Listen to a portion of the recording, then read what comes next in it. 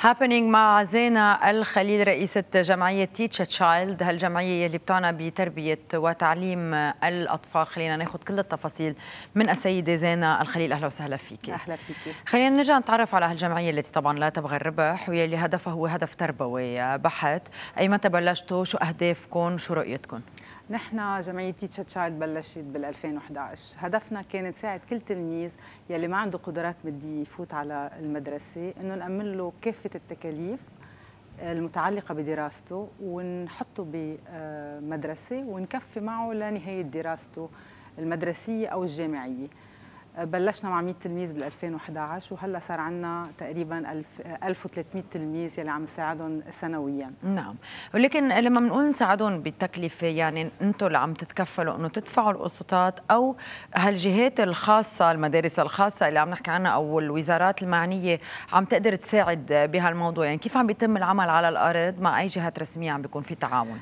آه نحن أول شيء آه من بنحدد مين هن الأطفال اللي بدنا نساعدهم آه من خلال تعاوننا مع وزارة التربية ولا وزارة الشؤون الاجتماعية أو آه رؤساء البلديات مدراء المدارس. بنشوف مين هن التلاميذ يلي عم بيتركوا المدرسة بسبب الحاجة المادية.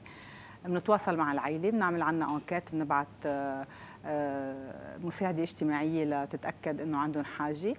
وأول ما بنقبلهم معنا بنتكفل بكافة التكاليف مثل ما قلنا. فنحن بندفع رسم التسجيل رسم لجنه الأهل الإلزامي بندفع الترانسبور بندفع لباس المدرسة الكتب والقرطاسية. يعني كل شيء متعلق بالدراسة نحن بنأمن لهم إياه وبنقول لهم للأهل أنتم عندكم عبء كبير مادي إنه تعيشوا عائلتكم وتأمنوا لها حياة كريمة نحن رح نتكلف بتعليمهم. نحن الولد بفوت معنا وبكفي معنا ليخلص مثل ما قلنا. يلي بينجح بروفي بفوت ثانوية أو بفوت مهنية. ويلي بخلص كمان البكالوريا عم عم بفوتوا على الجامعة. كيف بلشت هالفكرة؟ يعني أنا عشرية نعرف إنه ليه طلعت هالفكرة معكم؟ طبعا في حقوق الطفل وحقه بالتعلم ولكن بنقول إنه يمكن في المدارس الرسمية. ليه ما بيتوجهوا الأولاد على المدارس الرسمية؟ كيف صارت هال يعني هالمعادلة؟ نحن أنا بس بدي كمان وضح شغلة إنه نحن بنساعد بالمدارس الرسمية بالمدارس المجانية وبالمهنيات الخاصة وبالجامعات اللبنانية والغير والخاصة كمان. آه، لأنه الناس آه، بتفكر إنه المدارس بلبنان آه، مجانية بالمرة بالمية. بالمية ولكن في تكاليف كثير عليها. يعني في مثل ما قلنا رسم التسجيل رسم لجنة الأهل الإلزامي ال transport بتكون المدرسة بعيدة عن البيت بدهم يجيبوا ال costume بدهم يدفعوا الكتب والقرطاسية. ما بيقدروا يعني نحن تقريبا بكلفنا التلميذ معدل 400 دولار سنوي. إذا عائله عندها أربع خمس أولاد هيدا عبء كبير عليها. وفي عنا بتعرفي الحاجة بلبنان وقد إيه في عنا عيال آه تحت آه خط الفقر فهول نحن كلهم عم نساعدهم ليروحوا على المدرسة، نحن كيف بلشت الفكرة؟ بلشت كنا نشوف أولاد متشردين ومتسولين على الشارع، نحن كلنا كان عندنا أولاد وكنا عم نحط أولادنا بالمدارس، فقلنا بدنا نجرب نساعد هالولاد. بلشنا الجمعية بأمل إنه نوقف التسول ونجرب نساعد هالولاد يفوتوا على المدرسة. واصطدمنا بحائط كثير كبير يلي هو إنه بلبنان التعليم غير إلزامي. فإذا بتشوفي متسول بتروحي آه، عند القاضي بياخذوه بس ما فيهم يلزموا الأهل يبعثوه على المدرسة وهون عنا أول شيء عنا شكر لدعم الوزارات كلها ولكن عنا عتب على السياسيين يلي انحط قانون إلزامية التعليم بمجلس النواب ولكن الوزارات المتتالية اللي إجت بعد ما حطت مراسيم تطبيقية أوف. يعني بعده حبر على ورق بعد ما عندنا إلزامية التعليم بلبنان وهيدا شيء مش مقبول إنه نحن ببلد مثل لبنان بعد عم يطلع عنا ناس أميين. فمن هالمنطلق مشينا وقلنا على القليله نحن العيال يلي حابة تحط اولادها بالمدرسة ولكن قدراتها المادية ما بتسمح لها نحن رح نتكلف. رح نتكفل فيهم ونكفي معهم لنساعدهم. يعني اليوم بنشوف قد إيه المجتمع الأهلي هو عم بيقوم بدور الدولة. يعني آه، المجهود لكم ويعطيكم ألف عافية.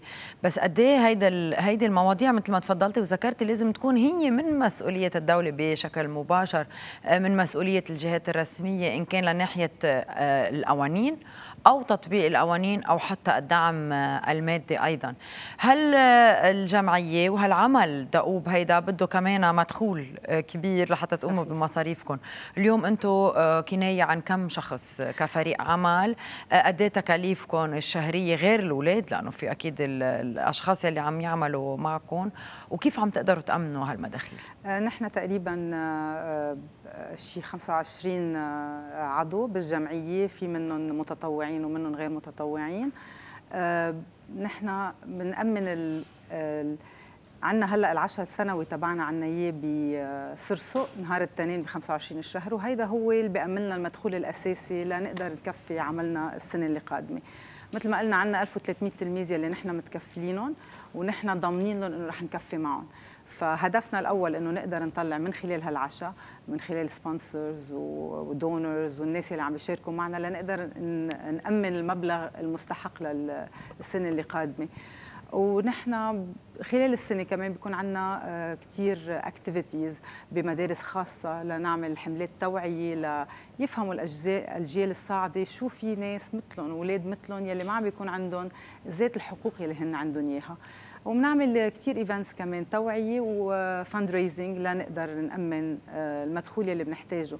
يلي مثل ما عم بتقول يعني 1300 تلميذ منه آه، رقم صغير والكلفة عالية. بنتعب كل سنة ولكن الدعم كبير. آه، دعم مثل ما عم تقول المجتمع المدني آه، عم بيقدر يساعد الدولة اللبنانية لتقدر تأمن حقوق آه، المواطنين. عم يشتغل عم يشتغل محلهم يعني بكل بكل عم نتعاون عم نتعاون. نحن بنشكرهم دائما على دعمهم وتعاونهم معنا. وأكيد يعني مرات بيكون في آه، شوية ملاحظات يمكن عندنا إياها ولكن آه، الدعم دائما موجود. والعمل سوا أكيد, آه، أكيد. لحتى تقدروا توصلوا. يعني يمكن هالإصرار ويمكن هال هيك ملاحقه الأمور هي يلي رح بتوصل الكل لبر أمان خلينا نقول. اليوم عم تشتغلوا لهدف وهالهدف هو على المدى القريب ولكن أيضا على المدى البعيد لتطوير مجتمع لبناء مجتمع سليم. ممكن إنه تنوعوا اهدافكم أو رح بضلوا يعني مركزين على هالتعليم هيدا؟ نحن كان هدفنا اول ما بلشنا كان التعليم بالمرحلة الأساسية. نعم. يعني لعمر ال 15 سنه اللي هو عمر العمالة بلبنان. كنا عم نقول هالولد قبل العمر 15 بدل ما يروح يشتغل ولا يتسول ولا يكون قاعد بالبيت ما عم يعمل شيء ممنوع يشتغل هو اني anyway. فالأهل هيك بيضطروا يبعتوا على المدرسة. ولكن آه، كنا فخورين كثير إنه نجحوا تلاميذنا فما رح نتركهم. كفينا معهم. صار الهدف الثاني كان إنه يكفوا ثانويات ومهنيات. وأول ما نجحوا كمان كفينا معهم على الجامعة نحن كثير فخورين بهالتلاميذ يلي كفوا. هدفنا كان إنه نقدر نخلي هالولد يقدر يصير عضو فعال بالمجتمع ويقدر يخلق لحاله حياة كريمة. ولكن الافكت تبع التاثير الإيجابي تبع شغلنا رح نشوفه على المدى البعيد. رح نشوف كيف قدروا ينهضوا مجتمعهم. هالناس هالتلاميذ يلي بالأرياف يلي هلأ مبلشين بعمر صغير يلي بدهم يكبروا ويصير عندهم مهنة بإيدهم يقدروا يحسنوا حياتهم حياة عائلتهم وحياة مجتمعهم ويبنوا مجتمعهم. هيدا الهدف البعيد آه، لنا وإن شاء الله بنشوفه بلشنا عم نلمسه ولكن بالمستقبل رح نلمسه أكثر يعطيكم ألف عافية. بنذكر إنه الجالا دينر رح بيكون نهار الاثنين بسرسو وين ممكن يلاقوا البطاقات؟ فيهم يتواصلوا معنا على 01 378 119 أو بالإيميل www info at teacherchild.org وأكيد الويب أكيد ال social media كلها موجودة ميديا كلها. للتواصل أيضا شكرا نعم. لوجودك معنا سيدة زينة الخليل رئيسة جمعية Teach a Child شكرا لك break صغير وبنرجع خليكم معنا